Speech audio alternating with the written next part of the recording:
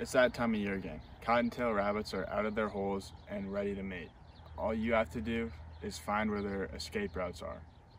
Trapping is an extremely important part of survival and it's entirely possible that you could find yourself uh, lost in the woods wondering what your next meal is going to be.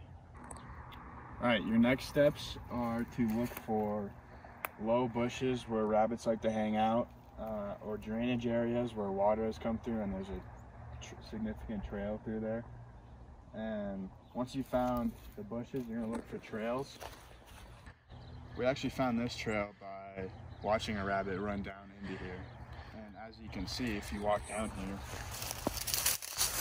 there's, some scat right here, a little bit hard to see.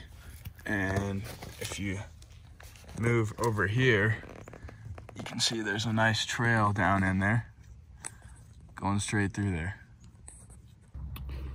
Start by finding some wire, probably about this thick, and we chose a natural color like green. You can choose brown, black, even worse. It, it really doesn't matter, but if you want a better chance, just use some natural color wire.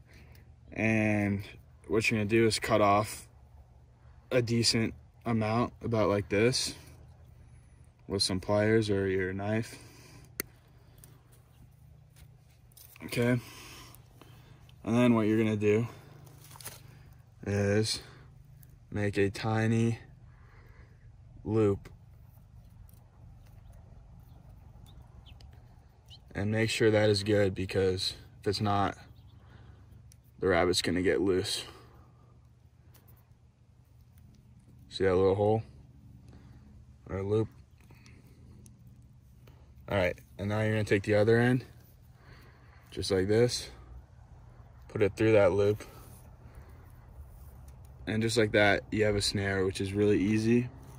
And what'll happen is the rabbit, you're gonna set it up and disguise it, and the rabbit will come down its trail, and it'll step into this, and either its neck or its foot will get caught in this and it won't be able to get out because it'll keep struggling.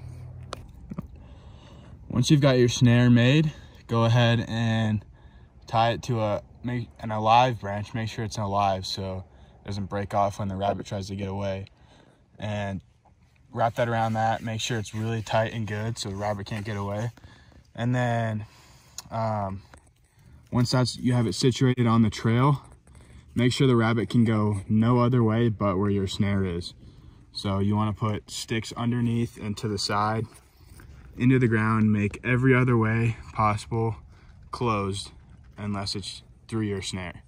You want that rabbit to go right through your snare. If you're going to be setting snares, it really helps to have rain or snow to see the tracks, where the rabbits are going, see if the rabbits are going around your snare or somehow missing it or going through and your trap is not working. So it really helps to have snow.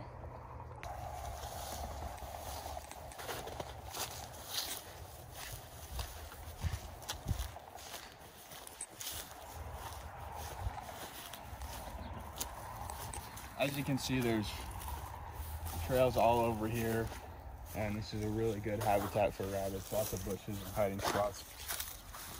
Some tracks right there. Um, and just look in here. Once you've set a couple traps, you're good to go. Wait a couple days and check back. I would check back in 24 hours to make sure.